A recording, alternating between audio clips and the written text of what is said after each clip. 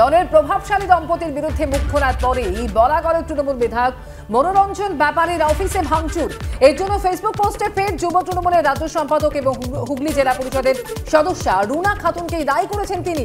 ভাঙচুরের পর এবার আমার পাল্টা দেওয়ার সময় বলাগড়ে ফিরছি। এবার খেলা জমে যাবে। ফেসবুক পোস্টে দলীয় নেতৃত্বকে পাল্টা চ্যালেঞ্জ ছুড়েছেন মনোরঞ্জন ব্যাপারী। এই নিয়ে কথা বলব অনির্বাণ বিশ্বাস প্রতিনিধি রয়েছেন টেলিফোন লাইনে। অনির্বাণ, গতকালই আমরা দেখেছিলাম যে দলেরই নেতা নেত্রীর বিরুদ্ধে একেবারে বিস্ফোরক অভিযোগে সরব হয়েছিলেন মনোরঞ্জন ব্যাপারী। আজকে তার অফিস ভাঙচুর হয়েছে এবং এই ঘটনা এবার ঠিক কি অভিযোগ করেছেন তিনি? দেখো, তোমাকে প্রথমে জানিয়ে রাখব যে গতকালই তিনি কিন্তু আশঙ্কা প্রকাশ করেছিলেন যে তার উপরে হামলা হতে পারে এবং কি তার প্রাণ সংশয়ও রয়েছে, এমনটা কিন্তু তিনি আশঙ্কা প্রকাশ করেছিলেন। এবং সেই আশঙ্কা প্রকাশ করে তিনি সোশ্যাল মাধ্যমে একটি ফেসবুক পোস্ট করেন এবং সেই পোস্টের মাত্র কয়েক ঘণ্টা পরে কিন্তু দেখা যায় যে জিরাতে বিধায়ক মনোরঞ্জন ব্যাপারীর যে বিধায়ক কার্যালয়, সেই কার্যালয় ভাঙচুর হয়েছে রাতে অন্তর্কারে এবং এক্ষেত্রেও কিন্তু মনোরঞ্জন ব্যাপারী তিনি অভিযোগ করছেন যে যুব তৃণমূল কংগ্রেসের সাধারণ সম্পাদক এবং যিনি রয়েছেন রুনাথ খাতুন তার নেতৃত্বে কিন্তু মূলত হামলা চলেছে বলে তিনি অভিযোগ করছেন। এর পাশাপাশি তোমাকে জানিয়ে রাখব যে শুধুমাত্র যে তার বিধায়ক কার্যালয়তেই হামলা হয়েছে এমনটা নয়, গতকালকে রাত্রে মনোরঞ্জন ব্যাপারী ঘনিষ্ঠ জিরাট তৃণমূল পঞ্চায়েত সদস্য চম্পা মুখার্জি, তার বাড়িতেও ভাঙচুর হয়েছে তার স্বামী সরজিৎ মুখার্জি, তাকেও কিন্তু মারধর করা হয়েছে বলে অভিযোগ রুনা খাতুন এবং তার দলবলের বিরুদ্ধে।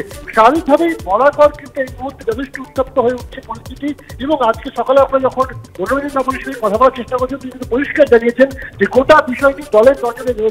এবং সুব্রত বক্সির অফিস থেকে যদি এই বিষয়ে ইতিবাচক পদক্ষেপ নেওয়া হয়, তাহলে কিন্তু বিষয়টি সমাধান হতে পারে। কিন্তু পরিস্থিতি যেদিকে এগোচ্ছে তাদের কিন্তু বলাগড়ের বিধায়ক এবং তার অনুগামী তারা কিন্তু যথেষ্ট উত্তেজিত হয়ে উঠছেন এবং তিনি কিন্তু আজকে আমাদের জানিয়েছিলেন যে তিনি এলাকার মধ্যে ঢুকতে চাইছেন না কারণ তিনি যদি এলাকায় ঢোকেন, তাহলে কিন্তু পরিস্থিতি অগ্নিগর্ভ হয়ে উঠতে পারে আইন শৃঙ্খলিত সমস্যা হতে পারে। তার ফলে তিনি পুলিশের তরফ পাবেন পুলিশের সাথে কথা বলবেন এবং তারপর পুলিশের সাহায্য সাহায্য নিয়ে এলাকায় ঢুকে যায় কিনা সেই বিষয়ে কিন্তু পরবর্তী পদক্ষেপ নিশ্চিত করবেন। এই বিধায়ক মনোরঞ্জন ব্যাপারী।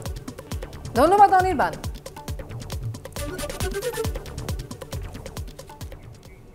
আজ মনোরঞ্জন ব্যাপারীর অফিসে ভাঙচুর হয়েছে। তবে গতকাল আগেই কিন্তু তিনি নিরাপত্তাহীনতায় ভুগছেন এই কথা জানিয়েছিলেন। অন্য কেউ নয়, দলের নেতার হাতেই খুন হয়ে যাওয়ার আশঙ্কা করেছিলেন খোদ বিধায়ক। বিস্ফোরক অভিযোগ বলাগড়ের তৃণমূল বিধায়কের। এমনকি এতটাই প্রাণ ভয় রয়েছেন, নিরাপত্তা না পেলে নিজের নির্বাচনী এলাকায় যাবেন না বলে জানিয়েছেন মনোরঞ্জন ব্যাপারী।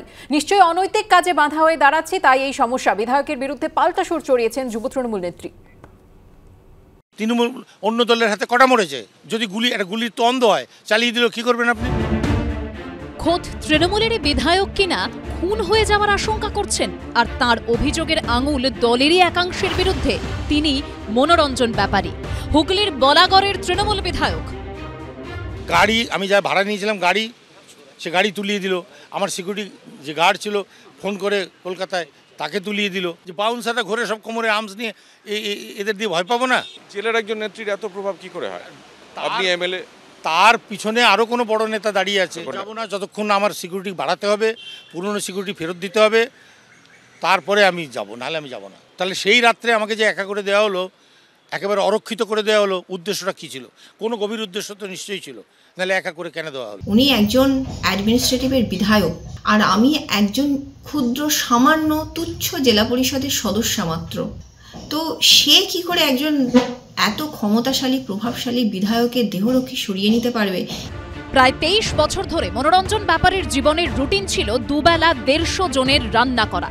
যে হাতে তিনি লিখেছেন ইতিবৃত্তে চণ্ডাল জীবন, সেই হাতেই তাকে প্রতিদিন নামাতে হতো কুড়ি কিলোগ্রাম চালের ভাত। মুটে মজুরি করেছেন, ছাগল চড়িয়েছেন, দীর্ঘ সময় যাদবপুর অঞ্চলে রিক্সা চালিয়েছেন। আবার জেলবন্দি অবস্থায় শুরু করেছেন পড়াশোনা। জেলবন্দি হওয়ার আগে একসময় খিদের জ্বালায় পাউরুটি পর্যন্ত চুরি করেছিলেন যিনি, সেই তিনিই এখন সততার মশাল এগিয়ে নিয়ে যাওয়ার অঙ্গীকার করছেন। কার্যত বিদ্রোহ ঘোষণা করছেন দলেরই একাংশের বিরুদ্ধে। দলের একাংশ, যারা তৃণমূল দলের মধ্যে থেকে দলটাকে কুড়ে কুড়ে খেয়ে দলটাকে শেষ করে দিচ্ছে। মাথার মধ্যে যেরকম ছাড় পোকা থাকে, মাথাটাকে খেয়ে খেয়ে ঘা করে দেয়। এই লোকগুলো দলের আশ্রয় থেকে দলটার সর্বনাশ করছে। অরিজিৎ দাস তার স্ত্রী রুনা খাতুন। তো এরা হচ্ছে এই অন্যায়গুলো প্রশ্রয় দেয়। হতে পারে ওনার অনৈতিক কাজে আমি বাধা হয়ে দাঁড়াচ্ছি সেটা ওনার সমস্যা হচ্ছে। সেই জন্য সমস্ত কিছু আমার নামে দিয়ে পার পেয়ে যাওয়ার চেষ্টা করছে। সৎসাহসের বড় অভাব আছে ওনার। বিধায়ককে রিকোয়েস্ট অনুরোধ ফেসবুক লাইভটা আপনি অন্ধকারে আড়ালে কলকাতায় লুকিয়ে কোনো জায়গা থেকে করবেন না তো? সৎসাহস আছে তো? বুধবার সোশ্যাল মিডিয়ায় নাম না করে তৃণমূল বিধায়ক মনোরঞ্জন ব্যাপারী লেখেন, বলাগড়ের ফুলন দেবী যে সাথে কুড়ি পঁচিশ জন শার্প শুটার নিয়ে ঘোরে, যে আমাকে মহিপালপুরে জনসভা করে মাটিতে পুঁতে দেবে বলেছে। বলাগড়ে যা চলছে, দলনেতারা সবাই সবকিছু জানে। তবু কোনো পদক্ষেপ নিচ্ছে না, ধৃতরাষ্ট্রের মতো চোখ বুজে আছে। সিদ্ধার্থ শঙ্কর রায় তার নিজের দলের বারো জন মন্ত্রীর বিরুদ্ধে তদন্ত বসিয়ে দিয়েছিলেন। তা আমাদের নিজের দলের মধ্যে যারা অন্যায়কারী দুষ্কৃতকারী তাদের বিরুদ্ধে আমাদের দল কেন ব্যবস্থা নিচ্ছে না? দু হাজার চব্বিশে আর কাউকে লাগবে না। নিজেদের লোকেরাই নিজেদের দুর্নীতির বিরুদ্ধে প্রচার করবে। বিধায়ক স্বয়ং তার জন্য ফেসবুক লাইভ করবে বলছে। মানুষ এটা দেখতে পাচ্ছে আমাদের আর কিছু বলতে হবে না। কবি সুভাষ মুখোপাধ্যায় লিখেছিলেন এ কলম হাতে থাকলে বসা বা দাঁড়ানো, চিত বা উপুর যে কোনো অবস্থায় প্রকাশ্যে ঝোপ পুছে কোপ দেওয়া যায়। কোনো রকম তাগবাগ বা রাগঢাকের দরকার হয় না। সোশ্যাল মিডিয়ায় রাগঢাক না করেই নিজের দলের একাংশের বিরুদ্ধে কলম চালালেন তৃণমূল বিধায়ক মনোরঞ্জন ব্যাপারী। কৃষ্ণেন্দু অধিকারী সৌরভ বন্দ্যোপাধ্যায় ও উজ্জ্বল মুখোপাধ্যায় রিপোর্ট এবিপি আনন্দ।